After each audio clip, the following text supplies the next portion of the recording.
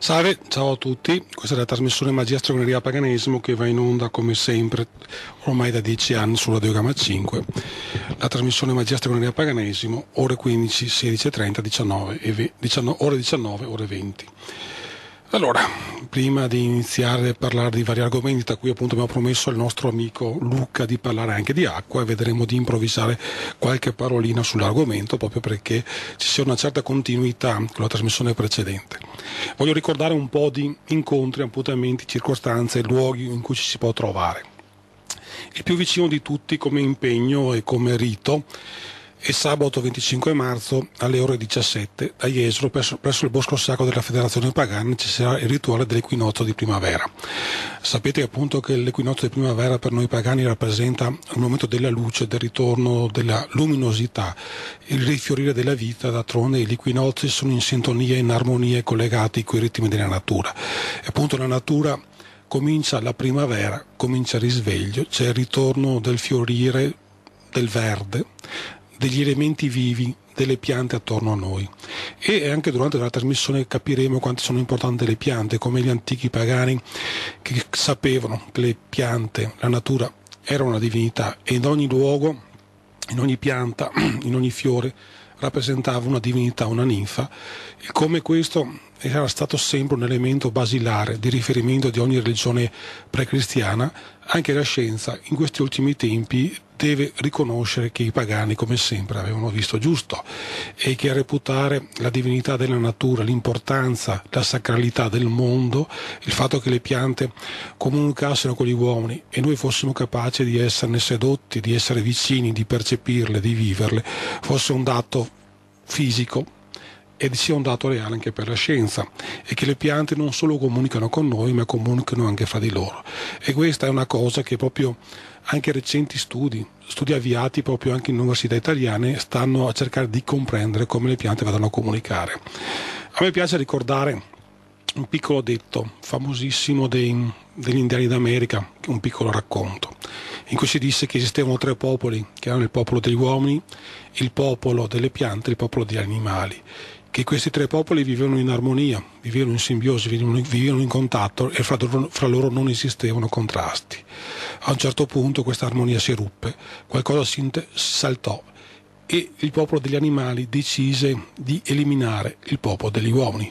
Scoprendo questo, le piante decisero di intervenire e non poterono impedire la guerra Pur di cercare di fermare la cosa, non ci riuscirono e decisero di tramutarsi in piante medicinali o medicinali proprio per essere d'aiuto all'uomo nel combattere questa battaglia.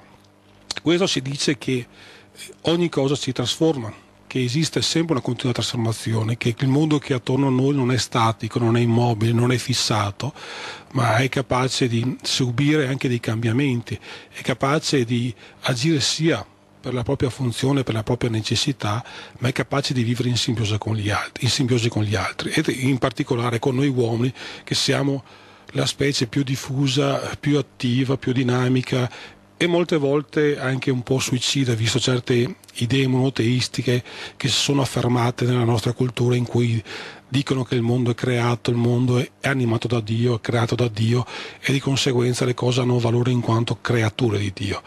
Questo principio che è entrato nel mondo ha modificato radicalmente il nostro rapporto, la nostra percezione, il nostro contatto, il nostro vivere con il mondo che c'è attorno.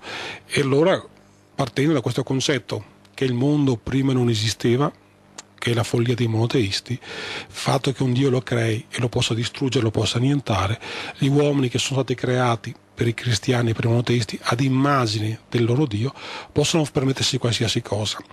E appunto per i monoteisti il mondo non è bello, non è vivo, ma è un dono di Dio e di conseguenza è una cosa che può essere data, che può essere tolta e che non ha significato, ha soltanto un valore di scambio, non ha un valore intrinseco, cioè il valore di scambio significa perché Dio è importante per i monoteisti, ti dà un qualcosa e tu puoi fare qualsiasi cosa in quanto è un regalo a perdere.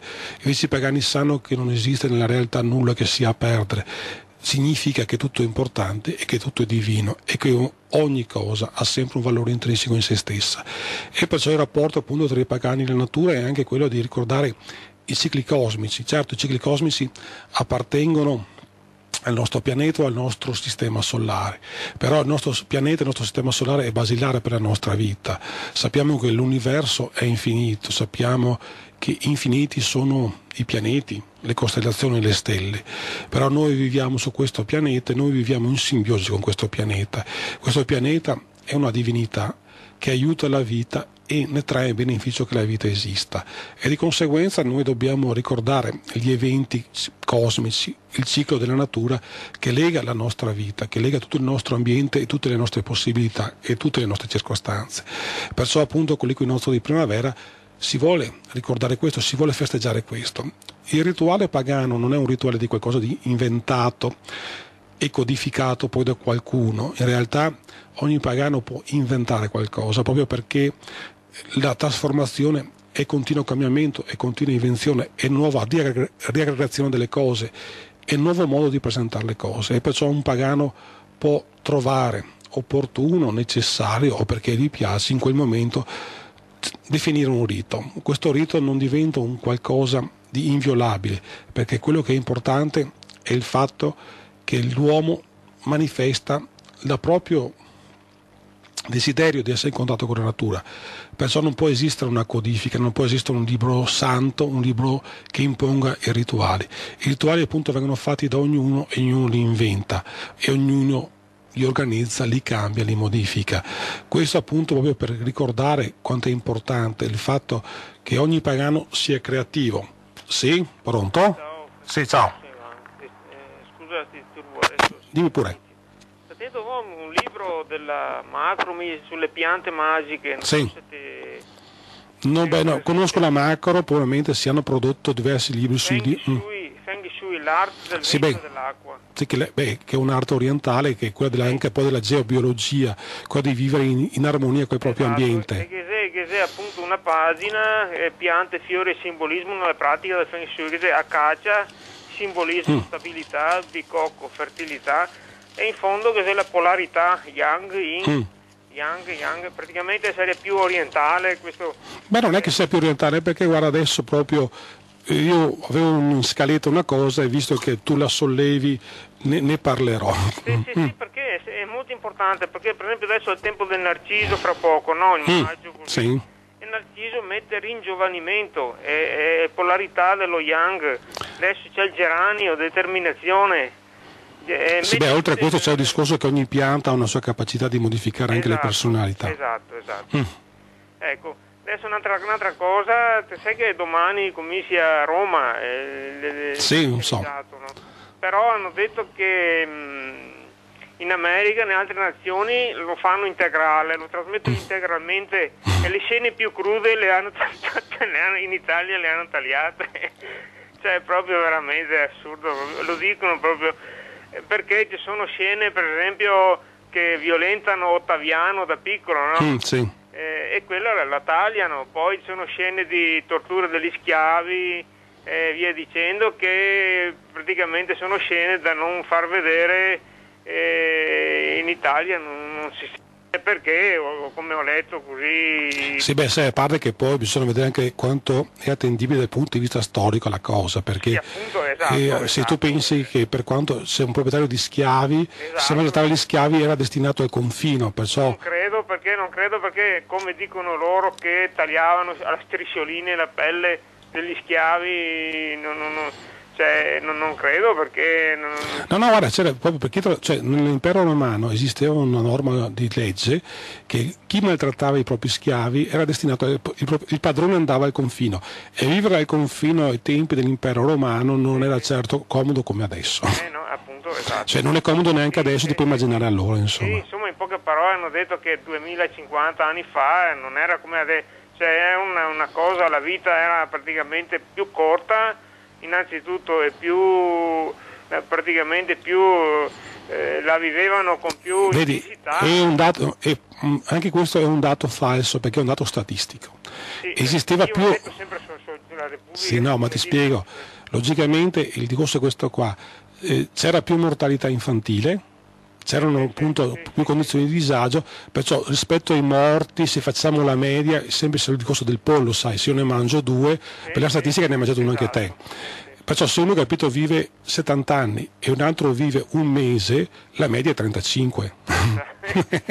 Comunque è un colossal, hanno detto, eh? un colossal, cioè, adesso fanno le, le prime, cioè in tutto sono 60 puntate, una Sì. cosa pazzesca, proprio eh, fanno una cosa, prima, adesso fanno la prima parte, che non so di quante puntate, poi riprendono Sì, è un serial televisivo praticamente. una serie televisiva, sì, però quando hanno, met- hanno- detto, ha scritto che, che in, in Italia viene tagliate, vengono tagliate delle scene, uno dice di no, l'altro dice di sì. eh, Beh, sai, purtroppo la censura è un elemento che è presente da sempre nella nostra cultura. Sì, sì, ma io ci credo che taglino qua in Italia che, che venga, che, venga- che viene censurato, perché qua in Italia naturalmente siamo abituati a queste cose, insomma. Sì, infatti sull'argomento censura ho anche qualcosina in merito, insomma. sì, appunto. D'accordo? Bene, ciao Ivano. Ciao. ciao, ciao, ciao. Sì, ecco, dicevo appunto mh, che l'importanza del rapporto con la natura è stata sempre presente ed è sempre considerata basilare in ogni religione pre-cristiana, proprio perché eh, si sapeva che il mondo è sacro. Sì, è pronto? Pronto? Sì? Pronto? Veloce. Sì, veloce. Io, noi altri siamo, siamo come schiavi ai tempi dei romani perché se noi altri guardiamo come è la situazione adesso, noi altri abbiamo le risorse energetiche contadine che non vengono pagate e quelle che vengono dal petrolio, che sono anche mie, non solo di, di quelli che fanno la guerra preventiva o che voglio prendersela per sé e per dominio, perché sono anche mie e io voglio conservarle, non consumarle, perché non voglio consumare anche le mie. Perfetto, chiarissimo, Alessa- chiarissimo Alessandro. Ah. Il problema energetico l'hai illustrato chiaramente, Gra- grazie, grazie dell'intervento. Sì, difatti appunto questo sarebbe un problema lunghissimo, ma Radio Gamma 5 non è certo priva di trasmissioni che sono capaci di affrontare l'argomento appunto della crisi energetica o delle fonti alternative. Perciò appunto il no- nostro amico Alessandro ha tutto il palinsesto di Radio Gamma 5 in cui si può sbizzarrire di affrontare queste tematiche, anche perché questa radio ha una tradizione, ha 30 anni e tematiche che gli altri hanno sempre scartato, hanno sempre escluso, sono state sempre affrontate con dovizia di particolari, con curiosità e con interesse e perciò chi l'ha ascoltata con metodo ha certo acquisito un bagaglio di informazioni enorme e penso che questo possa gio- giovare anche il nostro amico Alessandro che si ascolti con attenzione tutta Radio Gamma 5. Però l'amico Ivano ha sollevato una cosa interessante, che è quello del rapporto appunto con il mondo. E allora, fra le cose che io volevo inserire proprio di parlarne era il discorso del rapporto con le piante. Proprio in questi giorni sono uscite una serie di articoli che sono interessanti e che ci dicono qualcosa in merito. Allora, il Corriere della Sera comincia giovedì, martedì 14 marzo a Firenze un laboratorio sull'intelligenza delle piante e parla il direttore e dice le piante ragionano per risolvere i problemi della sopravvivenza, per scegliere momenti del riposo, per trovare nutrimento, per riprodursi, difendersi, minacciare, aggredire, proteggere i figli. Ora vogliamo sapere come comunicare con loro e come mettere a frutto tutto ciò. Cioè, qui si sta parlando di un laboratorio internazionale di neurobiologia vi- eh, vegetale che è l'INV e che appunto sarà presentato a Firenze in questi giorni. Ma eh, il fatto che le piante fossero capaci di ragionare, di agire, di comunicare, noi l'abbiamo sempre saputo. Se voi pensate a tutti i racconti mitologici che ci parlano delle driadi, delle amadriadi, che ci parlano delle varie ninfe presenti in ogni forma vegetale, in ogni fiore, ma soltanto se noi stiamo alla nostra esperienza del rapporto, del contatto, della capacità che ha il profumo di un fiore di cambiare il nostro umore, di come il colore di un fiore possa attirare la nostra attenzione, di come con cura molti di noi curano i propri fiori o le proprie piante, il proprio giardino e come ne trovano piacere, ne trovano giovamento, ne trovano felicità e come si vada a cercare l'accostamento della pianta giusta e come ci piace disporle, d'altronde siamo in periodo primaverile e ci, dico- ci dice molto questo periodo proprio dell'attaccamento delle persone verso le piante, sappiamo che le piante hanno un potere enorme. Lasciando stare il potere appunto dell'erboristeria e il potere appunto medio che possono avere, eh, loro hanno anche un qualcosa che non ha a che fare con questi aspetti puramente utilitari. Cioè un fiore profumato o colorato non serve soltanto per fare qualche decotto, o per fare qualche tisana o qualcos'altro, ma in se stesso, per la sua bellezza, è capace di modificare molte cose, è capace di modificare l'ambiente che gli è attorno, è capace, capace di cambiare il nostro umore, è capace però anche di comunicare, è capace appunto di avere la possibilità di ragionare. E il fatto che appunto si dicono le piante ragionano, per qualcuno può sembrare una scoperta incredibile, ma in realtà noi pagani lo sappiamo. Dice un altro articolo, questo è la Repubblica di giovedì 9 marzo 2006. Siena, un laboratorio studierà il linguaggio verde. I ricercatori lo fanno per sopravvivere, scopriremo un mondo inesplorato. Le piante sono intelligenti, ragionano, si difendono, comunicano, caccia ai segreti degli alberi.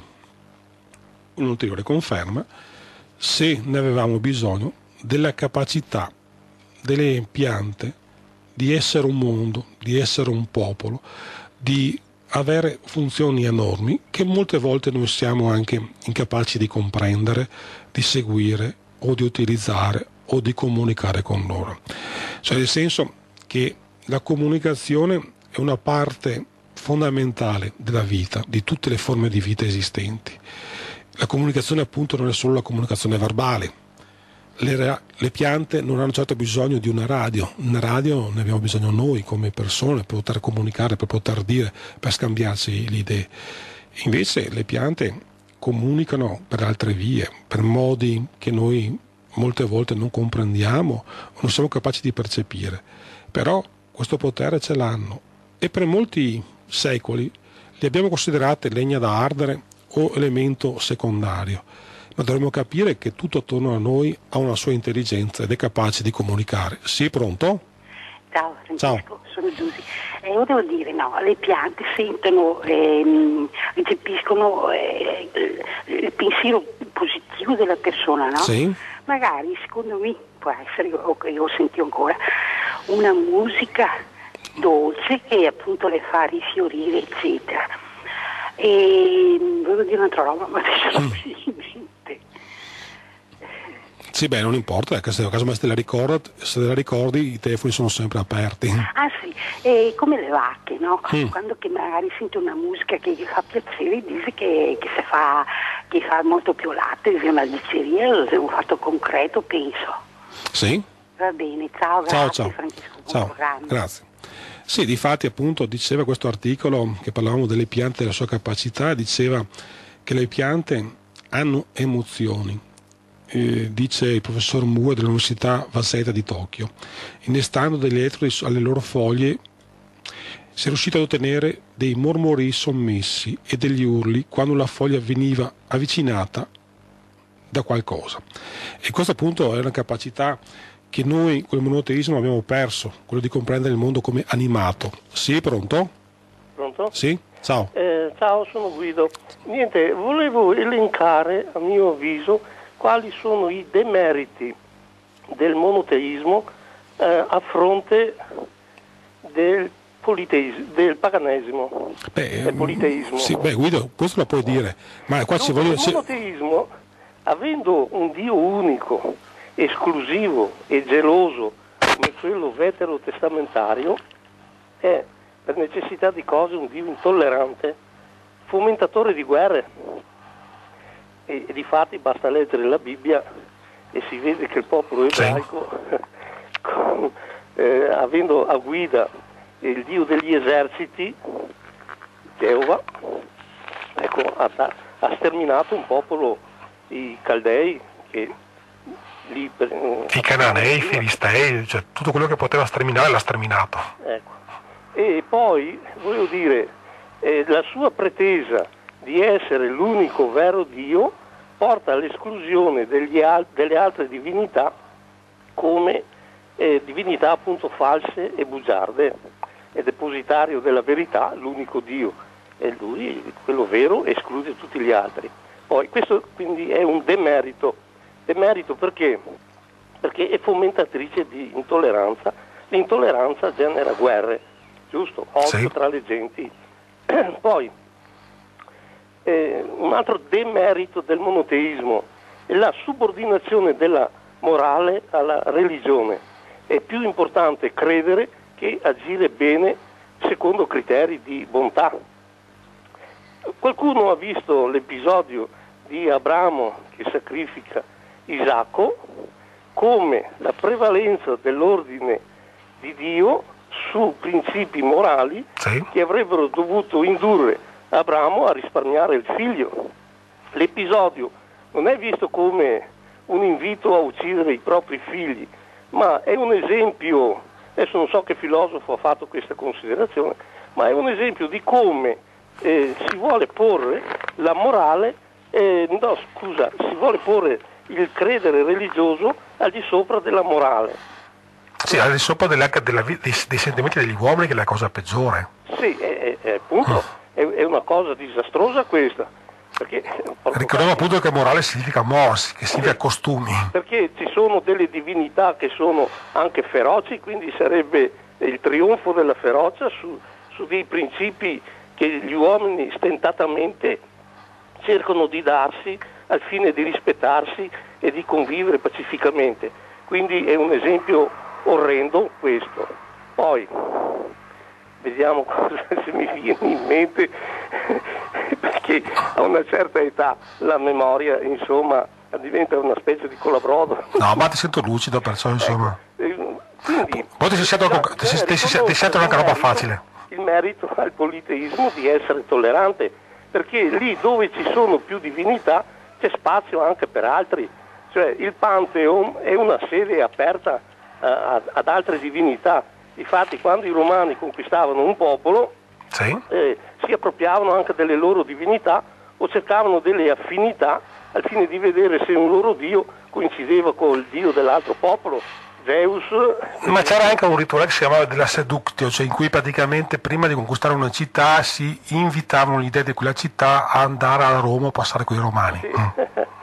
Poi un'altra cosa che io vedo come un demerito, sempre in raffronto ai meriti quindi di- come conseguenza del politeismo, demerito del monoteismo è quello di subordinare la salvezza eh, alla credenza.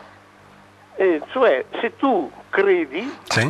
trovo scritto nei Vangeli, ti salverai. Sì? È, è più importante il credere, che io identificherei con la credulità, non so che merito possa avere la vecchina che crede alle buvole, O quella da che Bennasine.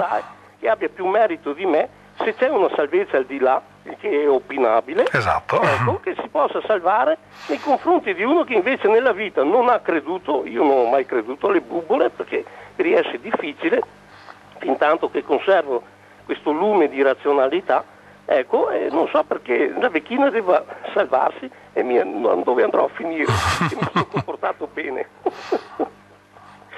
Le assurdità del monoteismo. Un'altra cosa che ho riscontrato è, è che è una non so, visione eh, realistica della- eh, dell'universo nel suo insieme e che invece il cristianesimo esclude.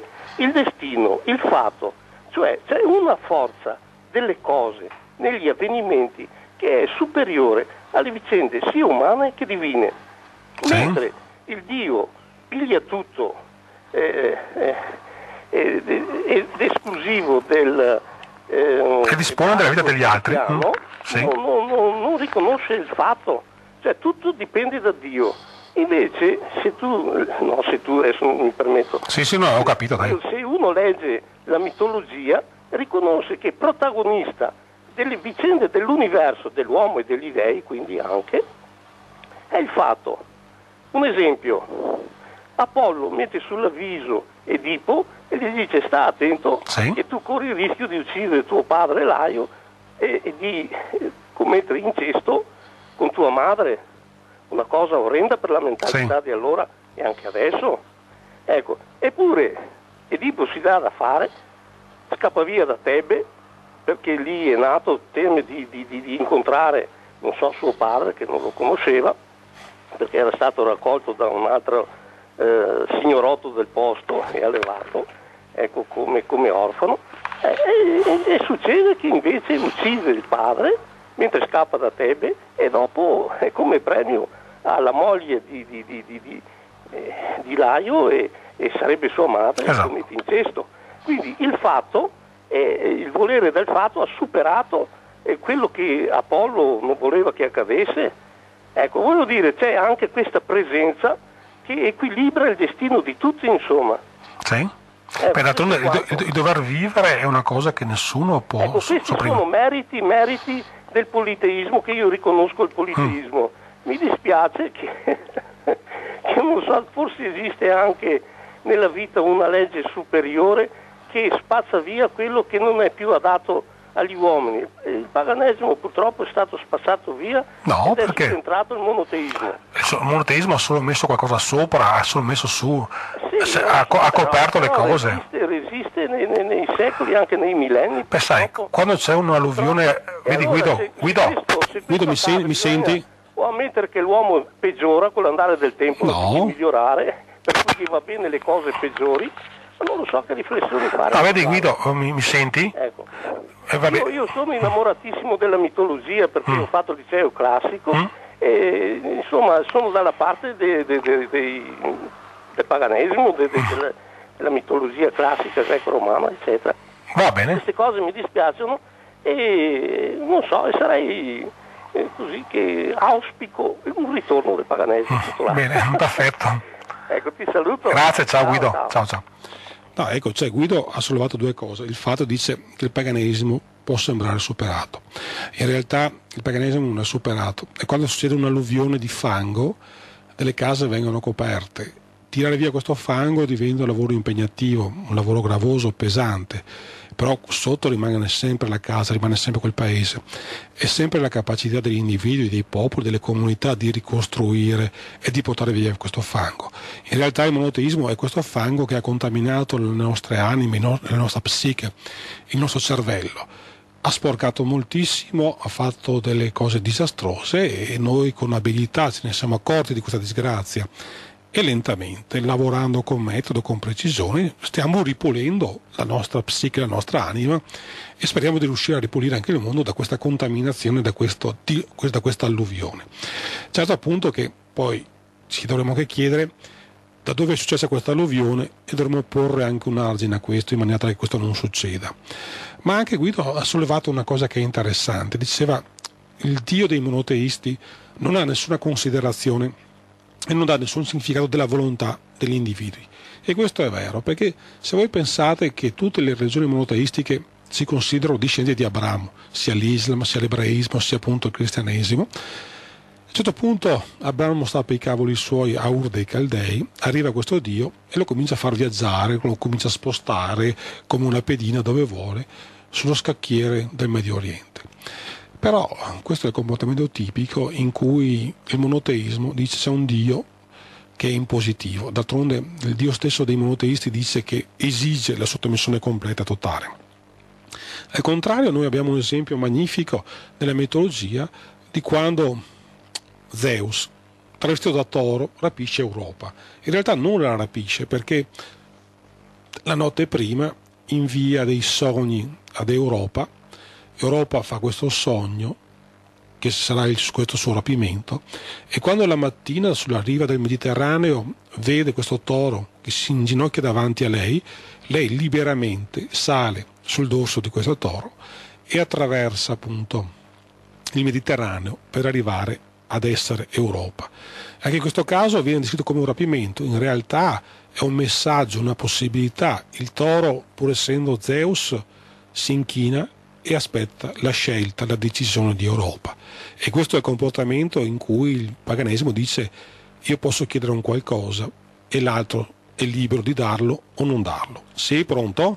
Eh, mi sembra che caschi in errore quando il Signore ha detto che la Grecia laica ah. e sapienziale eh, non è una religione, ha detto che è un monoteismo. Un no, no, no, non l'ha detto, no, no, no. Poteismo, poteismo.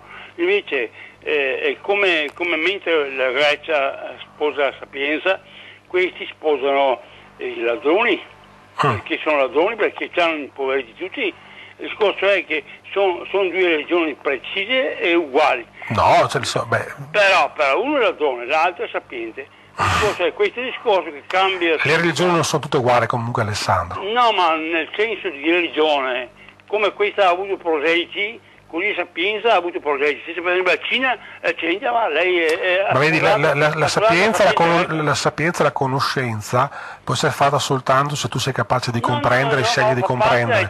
Cioè uno non diventa intelligente perché crede in qualcosa. Di Dio, fa parte della ricerca di Dio, il Dio è il creatore, il creato, l'universo. Il, il, il mondo non è creato e non esiste creatore. Sì, ma, no, ma vuol dire che sì, sono parole, però la le, creature, creature di questo mondo, il mondo. Ma noi non siamo creature, mondo, nessuno ci ha creato. L'infinito, l'infinito. Noi l'infinito, l'infinito, è pieno di cose, di persone, di divinità. Appunto, appunto siamo protesi verso l'infinito, verso la sapienza. Per cui Ma anche noi, noi siamo, noi siamo infinito. Regione, abbiamo costruito una regione per la vita, per cui siamo greci, siamo sapienti, mm. mentre gli altri hanno solamente la fede della donna. Va bene, perfetto, grazie, ciao ciao. ciao. Sì, difatti, come dico, le religioni non sono tutte uguali, esistono delle differenze che sono abissali, pur essendo nostra definizione, quello che è determinante è il contenuto, il significato, il valore delle cose, il cosa riescono a manifestare e il cosa riescono a portare, e il come sono anche fatte. Quando appunto dicevamo il monoteismo è sempre in posizione, è sempre all'improvviso in un luogo circoscritto che compare questa follia. È una follia che ha bisogno che le persone l'accettino, abbiano fede. Il Dio dei monoteisti esige la sottomissione e l'accettazione della sua divinità. Nel paganesimo questo non esiste perché nessun Dio, per quanto potente, impone. Può chiedere, può cercare di sedurre, può cercare di manifestare la sua potenza, però sa che gli altri elementi, gli altri individui, le altre cose sono delle divinità che gli possono resistere. E per questo è importante capire che pur parlando di religione o religiosità pagana e parlando di religione monoteista siamo su due temi totalmente diversi, proprio per contenuto e per, per significato. Io ricordo per chi vuole intervenire i numeri telefonici che sono 049 700 700 e 049 700 838. Questo punto di discorso era partito dalle piante dopo queste scoperte scientifiche in cui si dice che le piante sono intelligenti. E allora le piante non hanno mai avuto bisogno di profeti, non hanno mai avuto bisogno di salvatori, è soltanto la follia di poche persone che hanno portato l'umanità a pensare che esista il bisogno di un salvatore. Sì, pronto? Eh, sì, ciao. Ciao. Sento, a proposito delle piante, oh. delle piante senza acqua, sappiamo benissimo che anche l'essere umano, e vado su pagina oh. 21 Repubblica, raddoppia la sete nel mondo, sì. allarme, acqua. E ora mette per fare 10 litri di benzina che vuoi un litro d'acqua, eh, ah. fare un litro di benzina 10 litri d'acqua, per fare un litro di birra 30 litri d'acqua, per fare un chilo di farina 1500 litri d'acqua, 4500 litri d'acqua per un chilo di riso e 100.000 litri d'acqua per eh, fare una scocca in alluminio per un, ah, un chilogrammo di alluminio. Dunque fa qua che c'è una mappa appunto de, de, de, del mondo dove c'è più o meno acqua, qua stiamo bene, che c'è l'Europa, che c'è la Romania che ha il colore arancione, mm, dove c'è scarsità di acqua. E pensare che c'era il Danubio? Appunto che c'è il Danubio, che c'è l'Asia, che c'è l'Asia che, che comincia a naspare, l'Africa naturalmente che è l'eterna assetata, eh, un po' di Sud America, eh, eh, piante e acqua. Ma se tu pensi ad esempio quest'estate era parlato del Rio dell'Amazzoni che in alcuni punti si erano seccato. Sì, sì, Poi questa notizia è sparita completamente dai giornali. Però quella notizia quanto è rimasta sui giornali, sulle televisioni, è rimasta sia in una settimana, poi questa notizia è stata cance- cancellata. Sì, Dopo un'altra cosa, tornando a, al Colossal, no, che sì. sa che deve fare un lavoro, un lavoro certosino di, no, di demonizzare, di detrarre diciamo, il, il paganesimo, diciamo, le, gli anni, cioè il, il tempo prima de, della venuta del Cristo, no? Sì, del buono, è, è, è, è, probabile, eh, è probabile. Sì, perché pare impossibile, vediamo eh, il gladiatore, dopo che era, che era Caligola, i vari film, capì, i vari Colossal. E guarda caso tutti attori e tutti i registi americani, questo ha speso 120 milioni di dollari per fare questo qua tenendo conto che poi le, i, i, cristiani fondamentalisti americani hanno un peso non indifferente esatto, sulla produzione dei film. Hanno i soldi, hanno, hanno, atto- hanno le, le, il potere di imporre il canovaccio, la trama del film. Appunto, e noi ci dimentichiamo eh, l'attore, il fondamentalista, l'attore australiano Ben Mel Gibson. Sì nel, nel, frustare, no? perché la scena della, della fustigazione Ah, tu parli di Vive Passion di Mel Gibson? Sì, mm. sì, sì, Mel Gibson, sì, sì, eh, suo padre ha detto che è stato suo padre in casa mia, ha detto sono tutti fondamentalisti cristiani, io sono come mio padre, mi ha insegnato bene, ho fatto un'intervista, no? Beh, sì. si vede, non occorre neanche se lo dici, no? insomma si vede anche... Beh, insomma, così mi sembra a me che sia come una specie di con questi colossal di Roma, capisci? Eh, Troia, eh, Troi, insomma, così. Cioè, eh, portare, far vedere eh, a, a, gente come che a verità sua... Sì, falsificare la storia. La storia, vero. Poi, di, che poi è arrivato il cristianesimo a modificare, a santificare tutto. Appunto, eh, ma io ho detto, ha fatto vedere il film americani, ha fatto vedere il film, ha fatto vedere il Colossal, così, così, io che non niente, cioè a verità non sapremo mai, non mi farà mai vedere nei, nei film. Beh, vedi, la, la, la, veri, cioè, la verità storica di Roma, se, se, se, uno vuole la può scoprire, cioè, si, scoprire no, si, si, arma di buona volontà, di capacità di studio e la scopre. Sì, la, la, storia nel, nel, nelle, nel, diciamo, nelle, nelle, ma, nella, nelle masse, insomma, per televisione, così, nei documentari, non avremo mai la storia vera, diciamo, no? la sì. storia proprio come, come, è stata, come si è evoluta eh, le, le, varie epoche, le varie fasi, insomma, non, non è difficile insomma, sì. vederla. Eh, si sa che eh, i romani, si sa che i barbari erano, erano eh, trucidavano per un, un nulla. Cosa che non è vera guardavi per storto un imperatore e veniva tagliato la testa. Cosa che non è vera, anche questo. e così insomma ecco è tutto qua. Bene. Va bene. Vedremo dai. Avanti perché Non ti preoccupare Ivano. Ciao Ciao. ciao. No, beh, sono delle cose che logicamente danno fastidio a tutti i monoteisti, che è la ricchezza, la complessità e la incredibile intelligenza del mondo precristiano. Sulla storia di Roma, ad esempio, ci potrebbe essere una notizia vecchia e una notizia nuova che corrono vicine e che sembrano dimostrare che forse i precristiani, gli antichi romani, prima della venuta di Cristo, erano più intelligenti. Racconta la leggenda, che poi non è leggenda, che Romolo per fondare la città di Roma scelse il posto perché vide in volo su quel colle 12 avvoltoi. Praticamente sapete che una delle pratiche fondamentali, una delle pratiche molto frequenti in antica Roma era lo studio del volo degli uccelli. Vabbè, qualcuno può trovare che fosse una pratica strana, alquanto astrusa, ma se noi leggiamo il Corriere della Sera del 7 marzo 2006, dice studiare il volo degli uccelli per capire i mercati finanziari. Studiare i comportamenti collettivi del mondo animale, come quello di un gruppo di uccelli in volo, per capire le fluttuazioni del reddito o il crollo del mercato finanziario. È uno studio che intende analizzare l'interazione tra una molteplicità di individui attraverso il contributo di discipline quali la fisica, la biologia, l'etologia e l'economia. Cioè, allora si rende conto che se noi osserviamo le comunità degli animali, il popolo degli animali, se osserviamo il loro comportamento potremmo trarne esempi anche per la nostra civiltà. E allora Romolo osserva 12 avvoltoi in volo e vi fonda Roma. Dopo 2000 anni qualcuno studia il volo degli uccelli per capire come vanno i mercati finanziari. Forse Romolo aveva ragione. Sì, pronto? Sì, ciao, sono ciao. io. Guarda che gli animali, dal mio punto di vista, mm? sono più vicini alla realtà che questo tipo di essere che, che, che, se chiama Tut, Tutti siamo vicini alla realtà. l'animale è più Poi potremmo, noi, potremmo, essere sciocchi nell'osservarla, di, di fare i ciechi. Ti faccio un mm. esempio. Mm, dimmi. Questo è un mio amico che gade strappa tre anni un can da valanga. Sì. E ora il sconto l'uomo sotto a, a neve sì. e il can lo gaccata. Mm. Lo gaccia pa, pa l'esterno qua, pa, pa, Sì. pa i vestiti per tirarlo fuori. St'altro che ha una sberla e il can non capi fatto il can davanti, io ga assassinato. Cioè, è il can è logico. Se ti ti metti in fioco una volta non te crede più.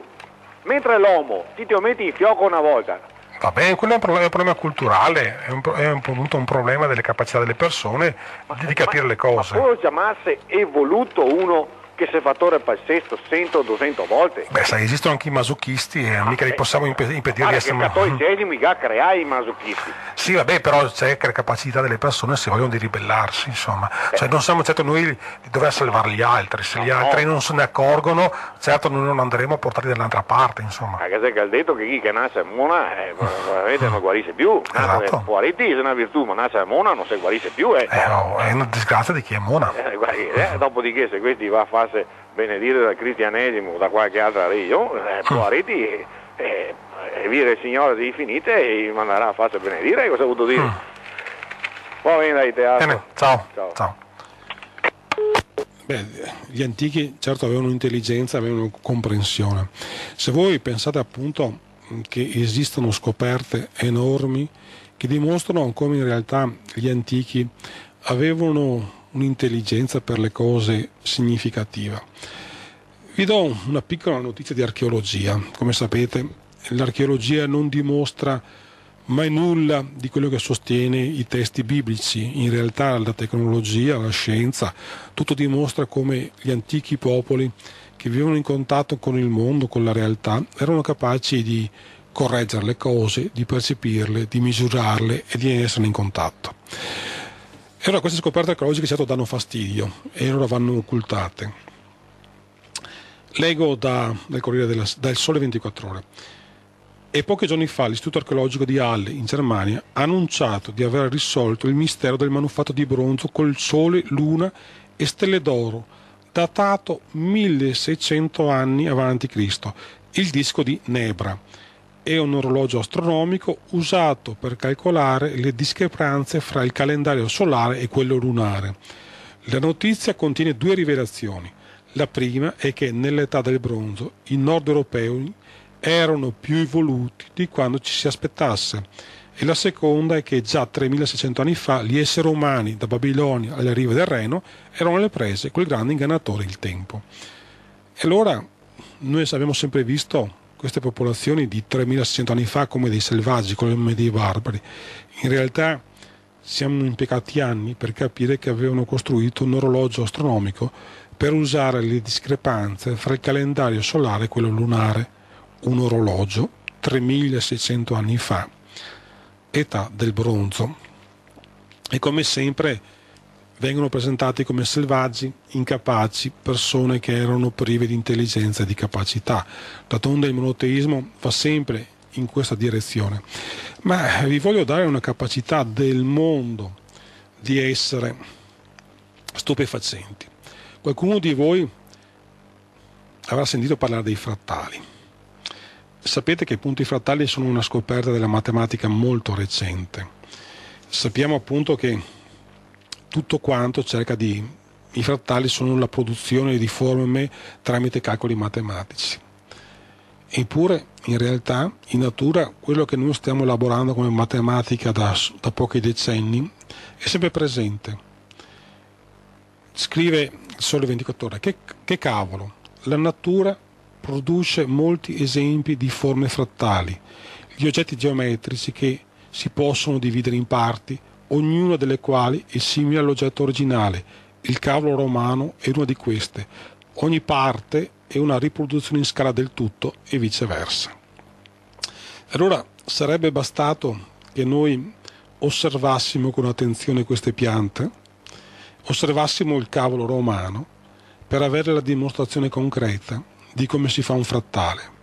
In realtà l'ignoranza che il monoteismo ha portato all'Occidente, ha portato all'Europa, ha impedito che per secoli ci fosse la capacità di comprendere e di conoscere cosa significasse lo studio della matematica e del mondo. Eppure il mondo, la capacità l'avevamo sotto. sotto i nostri occhi, non sotto la nostra fede. La nostra fede ci impediva di osservare questo e ci sono voluti secoli per poter scoprire quello che la nostra matematica ha impiegato anni per elaborare, con molta semplicità, la natura lo produce ogni volta un frattale nel cavolo romano. E perciò state sempre attenti a quando qualcuno viene a parlare di possibilità di conoscere. Ma dicevamo appunto che noi scopriamo sempre maggiormente che gli antichi, e chi non ricorda tutte le discussioni fatte 3000 anni fa nell'Accademia di Platone per cercare di comprendere l'energia, di comprendere il mondo, per comprendere la bellezza dei calcoli, per comprendere la matematica e di conseguenza basterebbe che noi volgessimo lo sguardo verso l'antico per comprendere questo. Però questo non si fa perché le persone devono essere ignoranti. E allora leggiamo Repubblica 11 marzo 2006. Valle dei Templi a rischio chiusura, pochi soldi mancano i custodi. Ora può sembrare strano come l'Italia, che è considerata uno dei, paggior, dei, maggiori paesi con patrimonio artistico mondiale, non ha i soldi perché, per i vari custodi per tenere aperta la Valle dei Templi. Ma è proprio così. E allora leggiamo dal Sole 24 Ore, scuola, 3.000 nuovi docenti di religioni. Il Ministero dell'Istruzione ha autorizzato ad assumere nell'anno scolastico 2005-2006 3.077 insegnanti di religione cattolica in seguito al superamento del concorso previsto dalla legge 186 del 2003.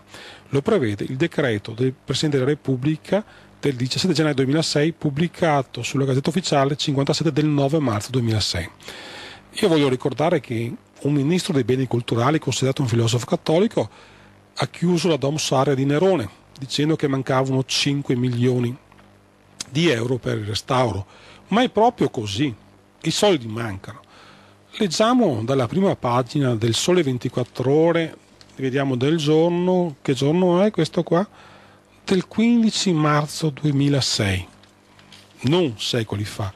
Alle parrocchie le piccole eredità di fine legislatura. Una pioggia di 195 milioni di euro sta per arrivare su 861 enti pubblici e privati, tra province, comuni, associazioni e parrocchie. E come sono ripartiti questi soldi? Allora non hanno i soldi per tenere aperta la Valle dei Templi e per il restauro di tante chiese in tutta Italia 203 interventi, il 23,6% del totale a favore di diocesi e istituti religiosi. 195 milioni di dollari, ma andiamo a leggere dove vanno anche questi soldi. La chiesa di San Francesco di Paola, in provincia di Palermo, ottiene 1,2 milioni. Un quinto degli interventi previsti dal decreto, il 23,6%, è a favore di altri diocesi, diocesi, chiese, parrocchie, istituti religiosi, per lo più per ostatare edifici di culto. E poi hanno anche l'8 per 1000, va bene. Sì, pronto? Pronto? Pronto, sono in linea. Ciao, sì, ciao Paolo. Sono il presidente onorario dell'associazione Marco Fontana. Pagano politeista